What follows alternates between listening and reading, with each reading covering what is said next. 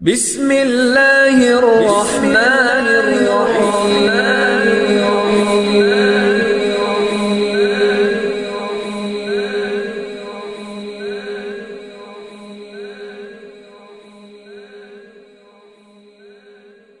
الحمد لله رب العالمين والصلاة والسلام على سيد المرسلين نبينا محمد وعلى آله وصحبه أجمعين ما بعد فعن عائشة رضي الله عنها أن رسول الله صلى الله عليه وسلم قال من ظلم قيد شبر من الأرض توقه من سبع أراضين প্রিয় দর্শক ও শ্রোতা ভাই বোনেরা বর্তমান যুগে যখন জমিনের মূল্য বেড়ে যাচ্ছে দিন দিন তখন মানুষ জমিনের ব্যাপারে জুলম আরেকজনের উপর জুলম করছে, মানুষকে জুলমের সম্মুখীন হতে হচ্ছে।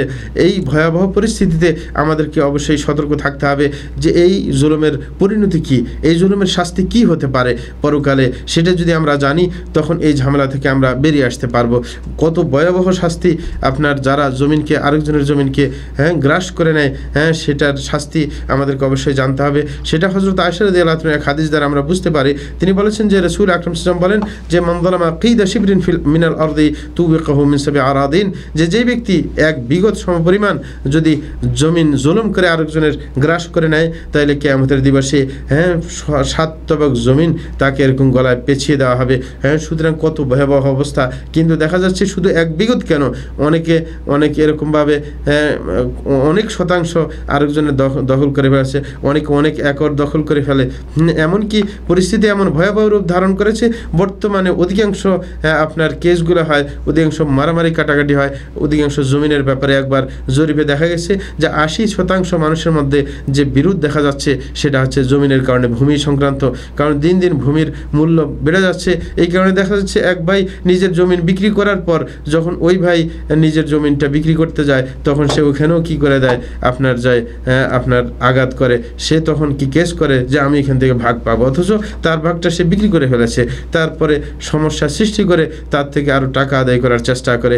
এরকম মারামারি, কাটাকাটি এরকম তো লেগে আসে আর এই সংক্রান্ত আরেকটি ব্যাপার বলতে হয় বেশিরভাগ যেটা আমাদের সমাজে ঘটে, সেটা হচ্ছে নিজের বোনদেরকে জমিন দেওয়ার ব্যাপারে বেশিরভাগ মানুষ আমরা কোথায় করছি?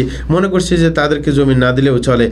অনেকে মনে করে যে এরকম একটা কথা সমাজের মধ্যে চালু করে দিয়েছে, সেটা হচ্ছে যে মেয়েরা নিজের বাপের বাড়ির থেকে জমিন নিলে এটাতে নাকি বরকত হয় না। এরকম উল্টো একটা কথা চালু করে দিয়েছে তাদেরকে ধোকা দেওয়ার জন্য। শয়তান এইভাবে মানুষ, শয়তান রূপী কিছু মানুষ এরকম কথা চালু করে দিয়েছে। অথচ না, আপনি যেরকম ভাগ পাবেন, যদিও আপনার বোন আপনার সিঙ্গেল পাক না কেন তারপরেও তো সে আপনার জমিনের ভাগিদার। আপনি কেন তাকে এরকম বঞ্চিত করবেন? এবং অনেকে নিতে চাইলে অনেক বোনে অনেকে হুমকি দেয় যে, তোকে আর বাপের বাড়িতে আসতে দিব না। এবং অনেক বোন আছে এরকম, নিজেই ভয় পেয়ে ভাইয়ের সাথে ঝগড়া করে না। জমি না দিলেও মনে করে যে, আমার বাপের বাড়িতে আমাকে আসতে দিবে না। হ্যাঁ আর মেয়েদেরকে, বাপের বাড়ির প্রতি মেয়েদের একটা টান থাকে। এই কারণে সে আতঙ্কে পড়ে, নিজের ভাইয়ের সাথে ঝগড়া করতে যায় না। আর মাঝে মাঝে তো ঝগড়া এরকম অনেক দেখা যায়। সবাই তো আর ছাড় দিচ্ছে না। এই কারণে আমরা বলব যে নিজের বোনদেরকে এরকম আমরা সম্পদ থেকে বঞ্চিত করার চেষ্টা করব না। যদি এই হাদিস শুনে থাকি, তাহলে এই হাদিস শুনে আমরা অবশ্যই এই জুলুম থেকে বেরিয়ে আসব। যে যতটুকু আমি তাকে জুলুম করে না দেব, ততটুকু সাত্তবক জমিন আমার গলার মধ্যে পেঁচিয়ে দেওয়া হবে। তখন আমার পক্ষে সেটা উত্তরণ করা কখনো সম্ভব হবে না। ভয়ানক পরিস্থিতি আমার তখন দেখা দিবে।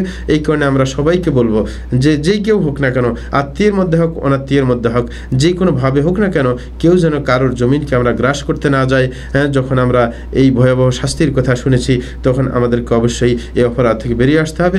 আল্লাহ জেসান আমাদেরকে হ্যাঁ এই অপরাধ থেকে বেরিয়ে আসা তৌফিক দান করুন। ওসলাল্লাহ আলা নবীনা মোহাম্মদ ওয়ালা আলহি ও সাহবিহি আজমাইন।